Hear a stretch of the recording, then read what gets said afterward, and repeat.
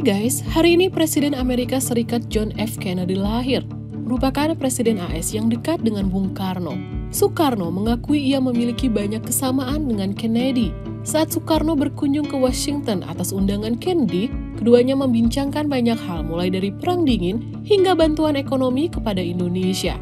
Meski Soekarno senang karena keduanya sepakat menentang kolonialisme, Kennedy ternyata punya pandangan lain terhadap Soekarno Menurutnya, meski Soekarno merupakan politikus yang cakap, ia menyanyiakan kesempatan untuk membina perkembangan negaranya. Karena Soekarno saat itu masih tidak menyukai Amerika, Kennedy pun sulit menahan hubungan Indonesia dengan blok komunis. Walau demikian, keduanya tetap berhubungan baik. Soekarno pun pernah menyiapkan gedung tamu agung untuk Kennedy, yang sayangnya tak sempat dipakai karena Kennedy terbunuh.